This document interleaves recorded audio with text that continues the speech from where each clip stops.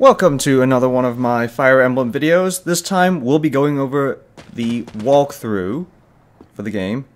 And in this case, we'll start from the very beginning, the prologue battle. Let's take care of those thieves before they overrun the village. Take down the enemies in front first. That should take the wind out of their sails. So this is the point in the game where your very first battle where you'll learn all of the basics. If you are not familiar with Fire Emblem games or haven't played a single one before or have no idea what you're getting yourself into, it's a good idea to pay a lot of attention, but this fight is in no by no means difficult. You've only got four controllable characters, but in the event of an emergency, Jeralt is going to take care of a lot of things. Now, I'm playing on normal casual. It, again, it will not make a big difference here, but I play on normal casual just because I want to show you what will happen rather than show you the most pressing and accurate techniques right now to win a fight. Stay focused. really doesn't matter, just follow all of Jeralt's instructions. Now, it's important to note that the main character, Byleth, has a sword, Dimitri has a lance, Edelgard's got an axe, and Claude has bows.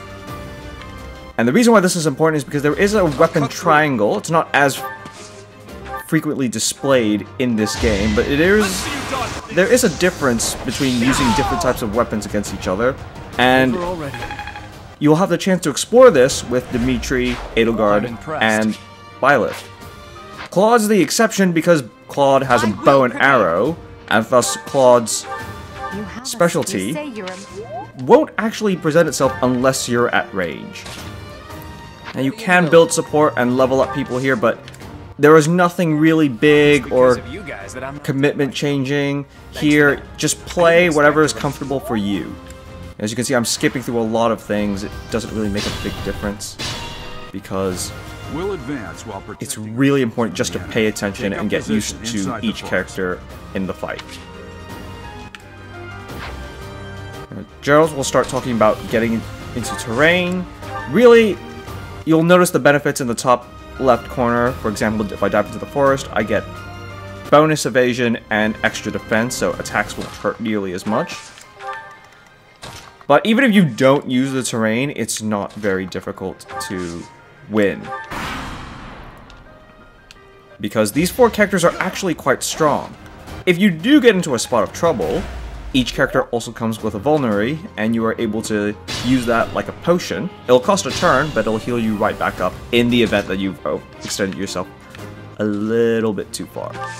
Nothing wrong with that, by the way, because Yes. you're learning how to play the game. Is that all?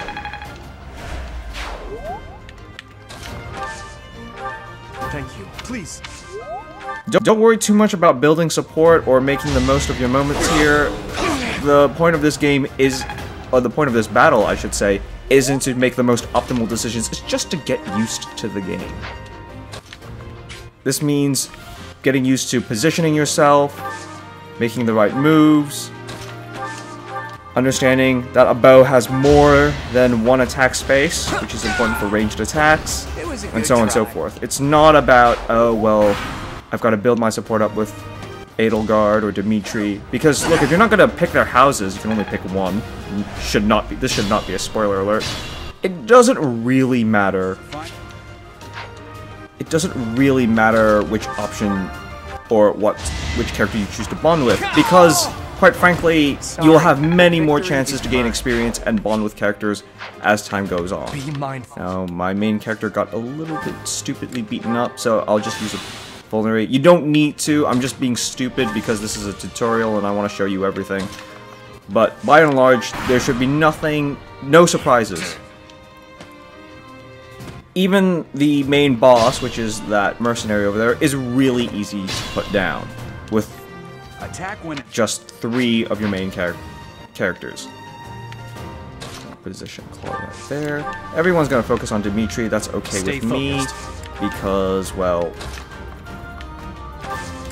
Oh no, they're gonna focus on the main character. Well, it doesn't really matter. As I said, you'll just be fighting out of cover.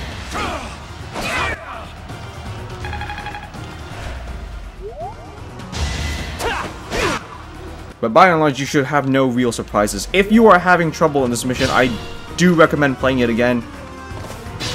for the sole reason that there are just too many important basics that you need to get right. Even though you'll go over a lot of other things later, you it is very important to make sure that you know what you're doing in the heat of a battle because more advanced concepts will be thrown at you. I expected. But I'm just going to end this right now. In order to end the battle, you just really have to beat the bad guy. Or the boss character, which you can tell with the yellow symbol on him. Yep. Byleth has leveled up. Again, don't worry too much about who gets that final kill or the experience, because all do our it's not important.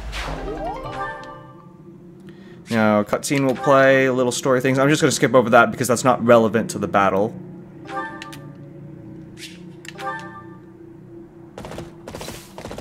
Hey, And once you get the stage complete sign, the battle is over.